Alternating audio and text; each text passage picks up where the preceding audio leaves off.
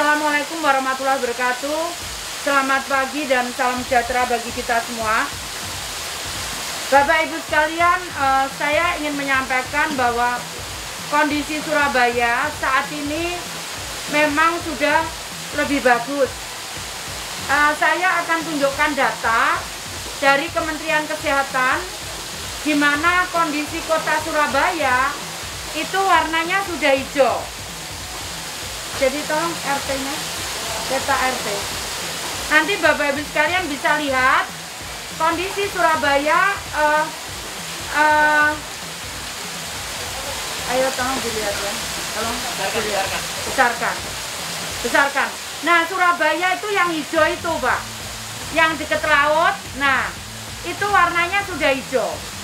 Tapi artinya apa hijau itu? Artinya itu adalah tingkat penularannya kita sudah rendah.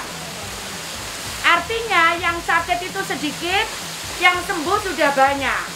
Nah, tapi kita dikelilingi oleh warna kuning. Jadi Gresik kuning, Sidoarjo kuning. Tolong kembali. Jadi tingkat kalau kuning warnanya itu artinya penularannya masih lebih tinggi. Jadi warnanya tuh Pak, grade-nya yang paling bagus itu hijau. Kita lihat ya Pak, itu dari kementerian, bukan kami yang buat. Terus, terus. No, no, no, no, no, bawah, bawah, bawah. Bawah, bawah itu loh, legendnya itu loh. Nah, terus habis itu kuning, habis itu orange, habis itu paling jelek adalah merah. Nah, kita sudah warnanya sudah hijau. Jadi karena itu Bapak Ibu sekalian tolong kembali ke asal, kembali ke warga, kembali ke warga. Warga.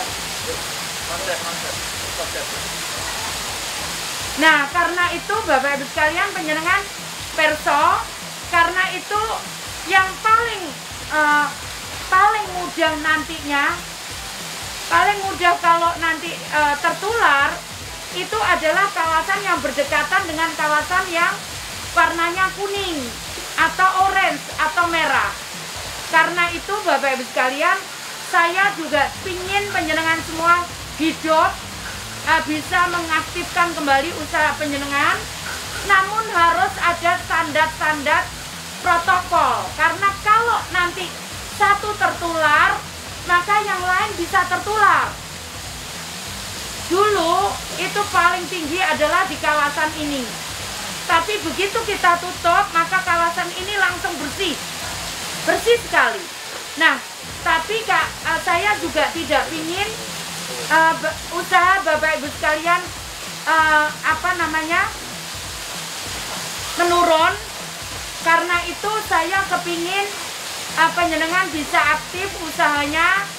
Tapi Bapak Ibu sekalian, saya berharap protokol kesehatan harus diikuti dengan baik. Sekali lagi, protokol kesehatan harus diikuti dengan baik. Saya tidak ingin ada warga saya sakit kembali.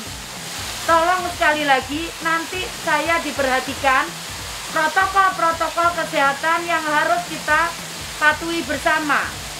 Ada protokol di uh, kawasan pasar, ada protokol di uh, kawasan perdagangan kita dagang, ada protokol di kawasan nanti uh, apa namanya bengkel dan sebagainya.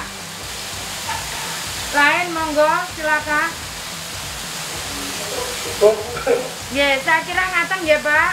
Bapak Ibu, ya matur nuwun. Nanti setelah rapat ini masih rapat untuk persiapan pembukaannya. Nanti kalau sudah siap kita akan turun. Saya akan bawa wastafel ke sana di kita bagi, kita ecer di beberapa tempat supaya uh, warga bisa terlindungi. Ngaten nggih? Saya kira itu nggih matur nuwun. Matur nuwun, mohon maaf kalau ada yang kurang berkenan. Uh, saya akhiri wassalamualaikum warahmatullahi wabarakatuh. Waalaikumsalam warahmatullahi wabarakatuh. Udah, Pak.